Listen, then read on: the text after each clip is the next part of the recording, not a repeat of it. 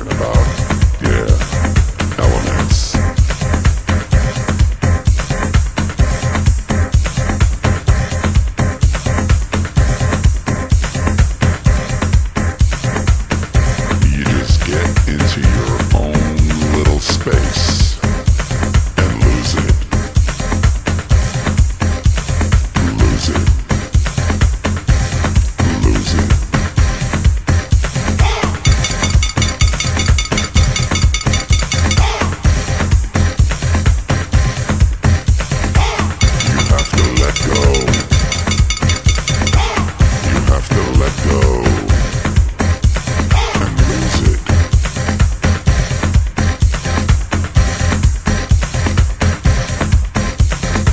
I think it's time to bring